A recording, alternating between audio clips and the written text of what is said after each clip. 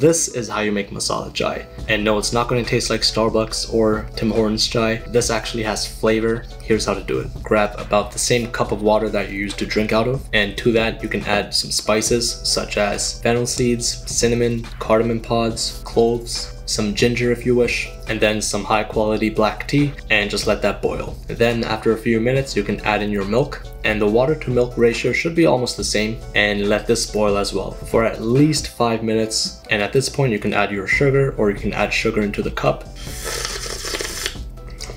After that, just pour it and enjoy. And this chai is so good that we got into TikTok's first ever cookbook.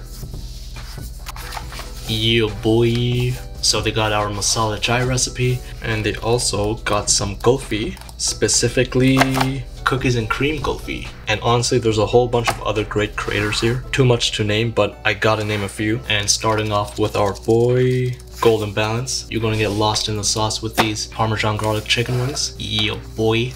After that, we got the OG uncle of TikTok, USA Jalenda. He's making some bomb fish pakoras. And to name a few more, we have the Moody Foodie, Korean Vegan, Rooted in Spice, Zeno, Diana, Shreya, H. Wu, Cooking Bomb, Ivan, and we got Lynja up in here. So I'm happy that we got to share how to make masala chai because trust me, after you make this and you taste it, you're not going to want to visit Starbucks or Tim Hortons again because they don't make chai. They sell water that tastes like expired cinnamon.